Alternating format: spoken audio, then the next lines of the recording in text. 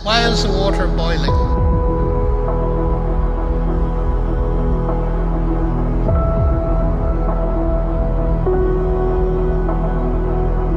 Well, because heat energy has been radiated through the base of the kettle, agitating the molecules of water, and it's boiling.